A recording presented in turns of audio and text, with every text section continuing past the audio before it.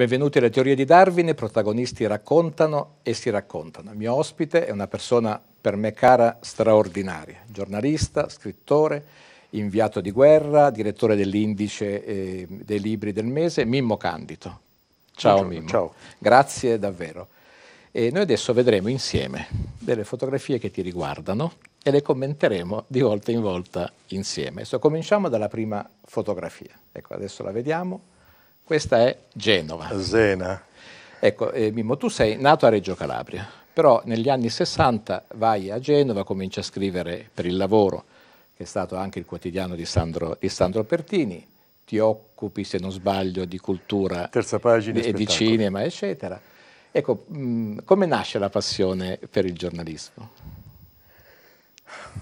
Una volta disse a mia madre che volevo fare il giornalista e mi disse, ma perché non fai un lavoro serio, un lavoro vero? Nasce dall'idea, nasce per la passione del cinema, cioè il mio progetto iniziale era critico cinematografico. Leggevo tutto di cinema, mi appassionavo, conoscevo tutto dei, dei teorici del cinema, italiani e stranieri naturalmente. Poi ho iniziato così, ho iniziato come, sostanzialmente come critico cinematografico. Poi tu sai, tu sei giornalista come me, sai com'è l'evoluzione del mestiere, le occasioni ti portano magari su percorsi e itinerari che non immaginavi si sarebbero realizzati così. Un giorno io scrivevo per il lavoro, un giorno mi chiamarono dalla stampa perché leggevano quello che io scrivevo sul lavoro, penso un po'. Io scrivevo per il lavoro, facevo allora l'impiegato comunale per aiutare la famiglia e di sera, di notte andavo al giornale a fare, la, si diceva allora l'abusivo, cioè di quello che fa il giornalista senza, senza, guadagnare una lira. Però scrivevo, mi faceva scrivere tanto. Alla stampa avevano letto quello che scrivevo, chissà perché ebbero questa per me illuminazione di chiamarmi e di dirmi se volevo essere assunto alla stampa, che oggi è un'occasione che per un giornalista sarebbe straordinaria, per i ragazzi è difficile oggi l'accesso al mestiere, lo vedo all'università, lo vedo nei master di giornalismo. E io con la presunzione che si può avere da ragazzi, dissi vengo soltanto se mi fate viaggiare, perché io amo Genova. Sono nato a Reggio Calabria, Reggio è lontana, però Genova mi ricorda un po' simbolicamente la mia città. Città di mare, città in collina, città di venti, di colori forti, di taglio netto. Di partenze. E di partenze anche, di, e di orizzonti, e di orizzonti. di orizzonti aperti. Vengo se mi fate viaggiare. Convinto tutto sommato che mi avrebbero dato un calcio nel sedere, dire ma chi sei, non sei nessuno, perché? Invece dopo una settimana tornai giù a Genova, da Torino, mi pagarono il biglietto del treno andata e ritorno seconda classe e, e, mi dopo una settimana mi chiamarono, mi disse c'è il direttore Ronchey che vuole conoscerla.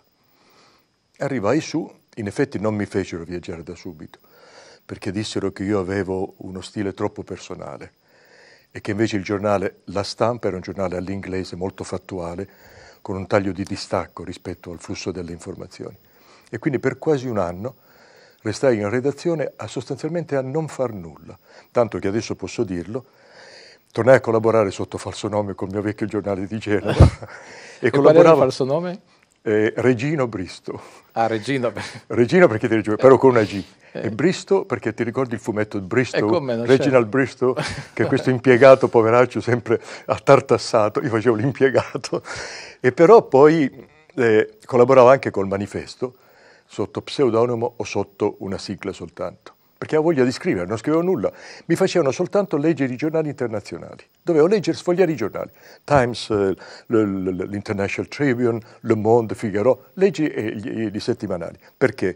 Perché Ronche voleva, mentre io mi abituavo alla dimensione internazionale delle notizie, voleva che tirassi fuori l'ipse dixit, cioè alcune frasi che i personaggi più celebri certo. del tempo dicevano. Allora io ne ricavavo ogni giorno una decina di frasi.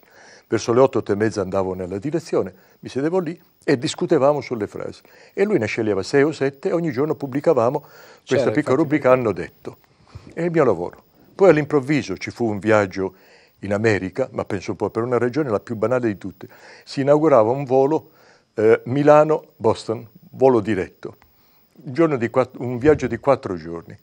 Io Presi la valigia, mi misi il mio abitino elegante, poi dentro, dentro la valigia misi uno zaino, quattro libri e un maglione.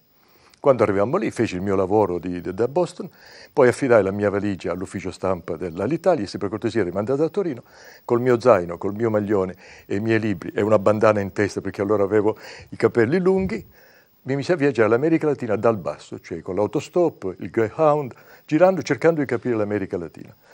Fu un viaggio che era di quattro giorni in partenza, diventò di 59 giorni, perché misi insieme tutte le ferie che avevo fatto, tutte le corte utilizzate. E da lì è cominciata una carriera. Adesso noi guardiamo in una seconda fotografia, che è un'immagine della guerra in Iraq. Tu sei stato eh, poi 35 anni inviato, inviato di guerra. Io eh, ti chiedo scusa perché l'argomento meriterebbe molto più tempo, molto più spazio, però ci tengo a parlarne. Eh, dell'uranio impoverito. Tu hai pagato un prezzo alto al mestiere, no? al coraggio di andare, di vedere, di raccontare, cioè, con un tumore, con un, polmone, con un polmone in meno. E non sai ancora dove l'hai preso, sei certo. in Afghanistan, in Iraq, in Somalia, eccetera. Tra l'altro io ho letto che sono morti 110.000, se non sbaglio, soldati eh, americani che hanno preso parte... 11.000, scusami, 11.000, perdonami, soldati americani che hanno preso parte alla guerra del Golfo del 1991 certo. e non conosciamo le vittime, ovviamente come sempre accade, civili. Ecco, Mimmo, le tue sofferenze no, possono portare però a qualcosa, le tue denunce? Ma io credo che bisogna avere sempre la forza di uscire dai dati personali, perché io ricordo sempre, tu come me hai letto Lord Jim quando eri ragazzo, Lord Jim sa che la nave deve affondare e sa che quelli che sono a bordo, così immagina, moriranno tutti. Ed è tentato da restare con loro. E però poi la forza della vita, i compagni che lo chiamano, lo fanno saltare nella scialuppa, la scialuppa va via e la nave è destinata ad affondare. Poi in realtà, come sappiamo, non affonderà, però è destinata ad affondare, moriranno. Il corrispondente di guerra è un po' come Lord Jim, che sta accanto a coloro che moriranno. Egli sa che moriranno. Molti di loro non muoiono, ma molti di loro muoiono, militari o civili. E però ci passa accanto e se ne va. Poi andrà in albergo, poi andrà a casa sua. E quindi ha una vita altra, lasciandosi alle spalle non voglio dire quel desiderio di morte, però quell'ombra, quel profumo, quell'odore amaro di morte che sempre accompagna le storie dei corrispondenti di guerra. Quindi, uscendo fuori dal dato personale, non vi è dubbio che ciò che può contare, ciò che vale dell'esperienza che può fare un corrispondente di guerra, è sostanzialmente l'assunzione forte della responsabilità nel tentare di trovare il filo della realtà autentica. Non voglio dire il filo della verità, della realtà autentica. Io credo che nessuno, come corrispondenti di guerra, tu fai il mio stesso lavoro anche se in ambiti diversi, sappiamo quanto sia difficile sfuggire ai condizionamenti, poter dare un racconto autentico della realtà. Ecco, questo che ci accompagna in ogni percorso, in guerra è particolarmente drammatico e vivo. E allora, vivendo accanto a chi comunque è destinato a morire, ne ricavi il dovere dell'assunzione della responsabilità di fare quanto più possibile perché tu possa raccontare cosa c'è dietro l'immagine della guerra. Soprattutto, siamo in televisione, cosa c'è dietro lo spettacolo nel quale si consuma sempre più la guerra. Io credo che questo poi ogni corrispondente di guerra ricava. Qualcuno lo dice, qualcuno non lo dice, qualcuno trova una tangente dalla quale scappare attraverso il cinismo. Però diceva Kapuscinski, non si può fare questo mestiere se non si ha un forte senso di solidarietà, a parte la fatica, dormire per terra in mezzo agli scarafaggi, ai topi, affrontare problemi pesantissimi, mangiare, bere, robe impossibili. E queste fanno parte della retorica. Poi c'è anche la vita d'albergo, eh? non è tutto così. Però certamente bisogna essere, avere uno spirito di adattamento particolare.